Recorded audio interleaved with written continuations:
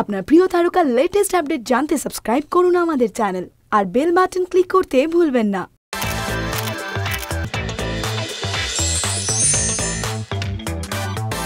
সরকারের চারশো একর জমি প্রয়োজন এই কারখানা করবে বলে।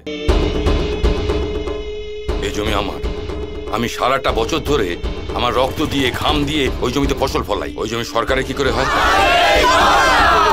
আমরা দেব না। কালচার বলে কিছু হয় না। ওটা তৈরি করতে হয়।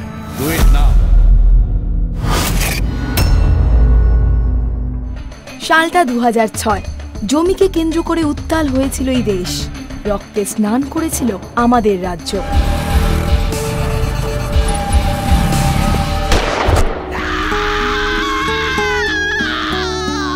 ও পাখি আর তুই ফিরে আসিস না ঘরে।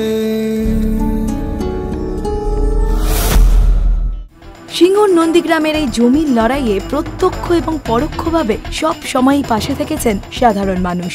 কিন্তু এমন অনেক ঘটনা যা সকলের সামনে উঠে আসেনি, এবার সেই ঘটনাগুলোই নিজের প্রথম ছবি কমরেডের মাধ্যমে সকলের কাছে নিয়ে আসছেন পরিচালক শঙ্কুদেব পান্ডা কমরেড নিয়ে কি বললেন শঙ্কুদেব পান্ডা শুনে নেওয়া যাক সেটাই।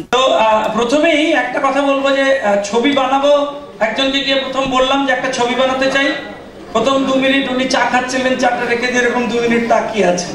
কোনো কথা বলছেন আমি বললাম, না না মানে ছবি বানাতে চাই।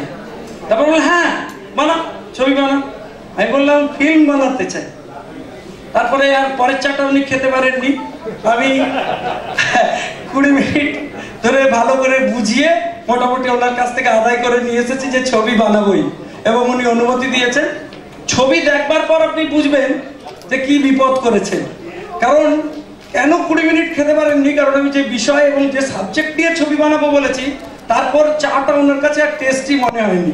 আমার মনে হয়েছে, ওনার মনে হচ্ছে আর খাওয়া যাবে না। যা বিভৎস চাপ আসছে।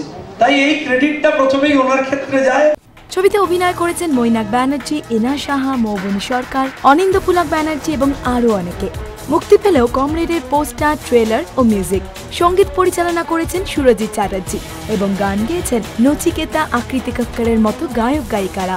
সুরজিৎ চ্যাটার্জির পরিচালনায় গান গেয়ে কেমন লেগেছে জানালেন তারাই। সুরজিৎ, সুরজিতের সাথে এটা আমার সেকেন্ড কাজ। এর আগে আমি মিঠুন চক্রবর্তীর একটা ছবি করেছিলাম, সেই ছবিতে ও করেছিল মিউজিক করেছিল, আমি তাতে গিয়েছিলাম। হাদাবোদা ছবিটার নাম, ইচ্ছে পূরণের গল্প ছিল। সেটা কাজ করেছে আর এটা। এটা সম্পূর্ণ অন্যরকম একটা কাজ। এই অ্যাকচুয়ালি অনেকেই ভাবছে ছবির নাম কমরেড, এখানে প্রচণ্ড গরম গরম গান হবে, বিদ্রোহের কথা হবে, তা কিন্তু নয়। এই গানটা অ্যাবসলিউটলি অন্যরকম গান। এই গানটা এক মানে এই জনারেরই গান নয়। ছবিতে এটাকে কি করে ব্যবহার করবে শঙ্কু, সেটা নিয়ে আমি খুব চিন্তায় আছি। কিন্তু ও বলছে হয়ে যাবে। ও এখন ভেবেছে নিশ্চয়ই হবে। এই গানটা একটা রাগ প্রধান গান। এটা পুরিয়া ধানেশ্রী রাগের ওপর একটা গান। যদিও গানটার কথাগুলোর মধ্যে অনেক ইঙ্গিত আছে, কিন্তু সুর, মানুষ তো ভীষণভাবে সুরের দ্বারা নিয়ন্ত্রিত হয়। সুরটা কিন্তু বেসিক্যালি একটা রাগ প্রধান গানের সুর। এবং সেটা সেইভাবেই গাওয়া হয়েছে। শুনে দেখা যাক। জোনাকিরা জলে নিয়ালো তুই ছাড়া পাখি মন লাগে না ভালো बहुत अच्छा लगा अ, बंगाली फिल्म में पहली बार हिंदी पूरा गाना यूज़ किया गया है क्योंकि सिचुएशन वो चाहती थी तो अ, शंकुदा का ये आइडिया था एंड आई होप कि जब लोग फिल्म देखें तो सबको बहुत पसंद आए बिकॉज शुरुजीत दा का म्यूज़िक मुझे हमेशा जब मैं उनके साथ रिकॉर्ड करती हूँ तो बहुत मज़ा आता है and I really hope that audience भी उसे उतना पसंद करे এরকম একটি রাজনৈতিক ছবিতে কী ধরনের গান রেখেছেন সুরজিৎ চ্যাটার্জি বললেন তিনি দেখো কমরেড শঙ্কু পান্ডার সিনেমা আমরা সবাই জানি এবং শঙ্কু পান্ডা যেহেতু বহুদিন ধরে রাজনীতির সাথে ও জড়িয়ে তাই ওর একটা রাজনৈতিক গল্প। এখন পুরো গল্প আমি জানি না আমি এইটুকু জানি যে নন্দীগ্রাম সিঙ্গুরের ঘটনার ওপরে ওর লেখা কিছু একটা গল্প। জান যা যাবে। তবু জমি দিব না। বেটারা শ্রেণি সংগ্রাম শিখেছে। লাল সংগ্রামের জন্য সবুজ সংকেত দেখিয়ে দাও। যদি কিছু দিতেই হয় তাহলে ভালোবাসা রে। ও সিনেমাটাকে সিনেমার মতোই ট্রিট করেছে মানে এটাকে কোনো ডকুমেন্টারি নন্দীগ্রাম বা সিঙ্গুরে সেরকম কিছু করেনি। তো এটা একটা ফিকশনই একটা ছেলে এবং একটি মেয়ের প্রেমের গল্প। পটভূমিটা নন্দীগ্রাম সিংহ, যতটুকু আমি জানি। আর এই সিনেমায় তিনটে আমি ধন্যবাদ জানাই। ইজেল প্রোডাকশন হাউস আর ইন্দ্রদাকে, ইন্দ্রদা প্রডিউসার এই সিনেমার। আর তিনটে গান আছে সিনেমাতে। তিনটেই গানের প্রয়োজন ছিল। তার মধ্যে একটা গান চটুল গান যাকে যদি বলি আমি সেটা আকৃতি গেয়েছে। আকৃতি কাকার আমার ভীষণ ভালো বন্ধু। আমি অনেক সিনেমায় ওর সাথে কাজ করেছি, ওকে দিয়ে গান গাইয়েছি। তো আকৃতি গেয়েছে একটা গান। তো, আর তারপরে তোমার একটা খুব প্রেমের গান, সেটা আজকে দিনের জন্য আরও আইডিয়াল কারণ বৃষ্টিতে প্রেমের গান ওটা। তো সেটা শান গেয়েছে। আবার কারণ ওই আমার মানে শানের সাথে আমার খুব ভালো সম্পর্ক, আরও তো ভীষণ ভালো গায়, সেটা আমার বলে দেওয়ার কোনো প্রয়োজন নেই কাউকে। আর আরেকটা গান হচ্ছে আমার আরেক ভীষণ প্রিয় মানুষ, যার আমি যবে থেকে গান বাজনা শুরু করেছি, তবে থেকে যার ফ্যান নচিতা তো নচিতার সাথে এই আমার দ্বিতীয় কাজ। আর এই নচিতার গানটা হচ্ছে এই সিনেমার থিম সং রাত নেমেছে চুপি সরে।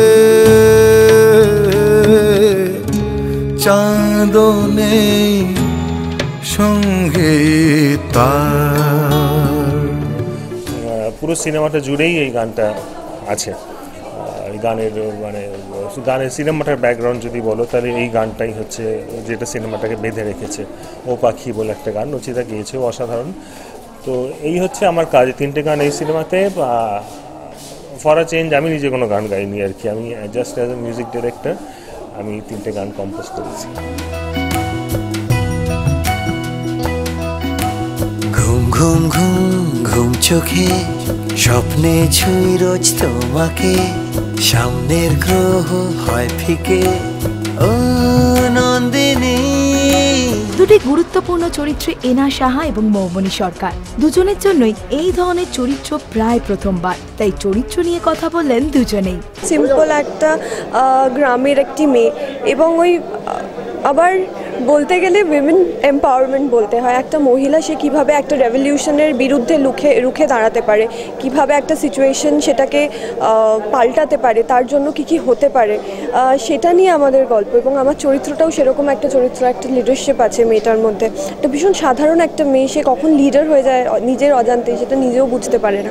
এবং অনেকগুলো শেড আছে চরিত্রটা হোপফুলি সবাই দেখতে আসবে, সবার খুব ভালো লাগবে। হোপিং ফর দ্য বেস্ট বলতে গেলে অনেকেই আমাকে জিজ্ঞেস করেছে এই ছবিটা করার সময় যে এরকম একটা পলিটিক্যাল সিনেমা এরকম I I don't understand politics I am a artist আমার চরিত্র পছন্দ, তাই আমি চরিত্রটা করেছি। আমার গল্প পছন্দ, তাই আমি সিনেমাটা করেছি। এবং আশা করি এবং নতুন কিছু করার প্রতিদিন চেষ্টা করি। সবাই মানে শুধু আমি একা বলে না, আমাদের বাংলা ইন্ডাস্ট্রি বা যত ইন্ডাস্ট্রিতে যত আর্টিস্টরা আছে, সবাই চেষ্টা করে যে পাবলিককে একটা নতুন কোনো কিছু এভরিডে গিফট করার। তো আমার তরফ থেকে এই ফিল্মটা is a new try is a new gift মনে হয়েছে যে আগে আমি যে কটা ছবি করেছি, তার থেকে টোটালি ডিফারেন্ট বা এই আঙ্গিকে দর্শক বোধহয় আমাকে বাংলা ছবিতে খুঁজে পায়নি বা দেখেনি। খুবই বোল্ড এবং সত্যিকারের বোল্ড বলতে যেটা বোঝায় যে এখানে যে কথাগুলো বলা হয়েছে সেগুলো হয়তো না বলা কথা বা লোকে এগুলো বলতে চায় না কারণ ভয় পায় বলতে। কিন্তু সত্যি কথা কখনো চাপা থাকতে পারে না। এবং কমরেড ছবিতে এরকমই অনেকগুলো সত্যি তুলে ধরা হয়েছে। আমার মনে হয় যে মেয়ে হয়ে একটা মহিলার দুঃখ বা কষ্ট যদি প্রজেক্ট করতে পারলাম, রাধারানী চরিত্রটাতে সেরকম একটা বিশাল বড় জায়গা আমি পেয়েছি যেখানে মেয়েদের যে দুঃখটা বা মেয়েদের উপর যে অত্যাচার করা হয় সেটার একটা বিশাল দুর্দান্ত প্ল্যাটফর্ম দেখানো। এবং আমাদের সমাজে লোকে কতটা টর্চার্ড অলরেডি সেটা আমার মনে হয় স্বাভাবিক মানুষের সামনে তুলে ধরা উচিত। কারণ তাদেরও জানা উচিত, তাদের এডুকেটেড হওয়া উচিত। কারণ রঙিন গ্লাস পরে আমরা সারাটাক্ষণই থাকতে পারি। That's a very easy way of living life কিন্তু সত্যি কথা বলতে আমাদের চারিপাশে যে দুঃখ কষ্টর ঘটনাগুলো ঘটে গেছে, সেগুলো কিন্তু আমাদের সামাজিক আকার দেবে এবং আমাদের ভবিষ্যৎ প্রজন্মকে শেপ করবে। সুতরাং আমার মনে হয় যে এগুলো থেকে মুক্তি আমাদের পেতে হবে। যে দেশে নারীকে এইভাবে অত্যাচার করা হয়, সে দেশে আবার দেবী রূপে নারীকে পূজাও করা হয়। তো আমার এইটাই খুব কন্ট্রাডিক্টরি লাগে যে কীভাবে সেটা সম্ভব। নিশ্চয়ই এটার কোনো অন্যরকম ব্যাপার রয়েছে যেভাবে এটাকে বন্ধ করা যাবে। নারী নারীর ওপর যে অত্যাচার এবং তার নানা রকমের রূপ যেন বন্ধ হয়ে যায়।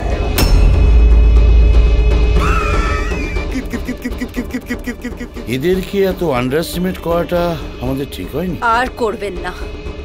এবার থেকে আমরা ঠিক করব। অত্যাচারী সরকার!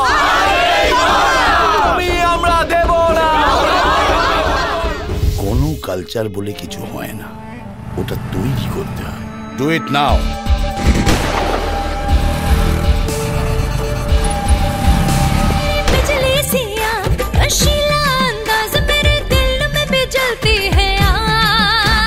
জান যায় যাবে তবু জমি দিব না